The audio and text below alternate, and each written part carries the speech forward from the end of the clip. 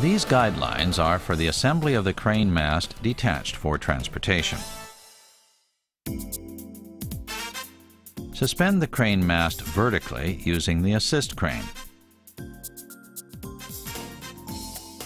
Lower it to its position on the front of the upper structure and align the pinholes.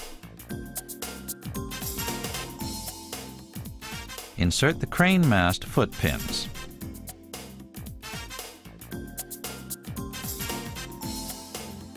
In the case of a jointed base machine, insert foot pins manually and affix keeper plates.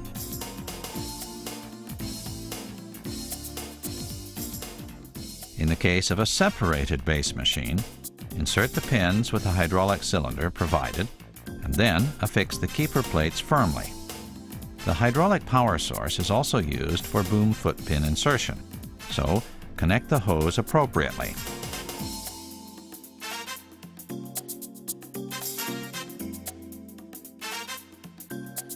Remove the lever block used to hold the lower spreader during transportation.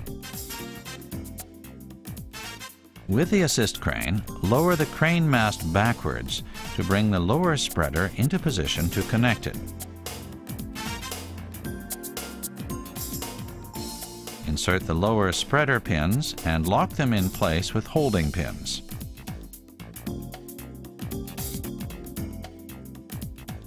Extend the crane mast cylinder to support the crane mast. Wind the W1 hoist rope to lower the crane mast backwards. At this time, do not use the assist crane to support the mast weight, but allow the mast to be lowered backwards.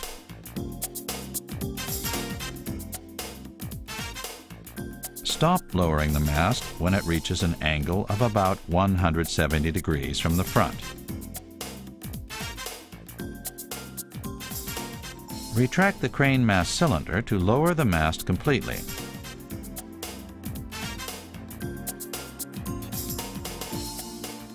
Detach the sling suspending the mast. If using the special suspension wires that come with the crane, leave them attached to the mast.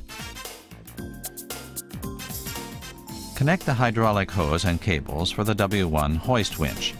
Be sure there's no water inside, since this can cause damage.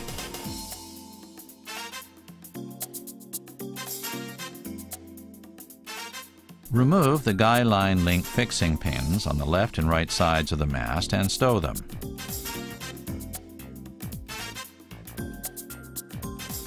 Raise the mast by extending the crane mast cylinder while paying out the W1 hoist rope.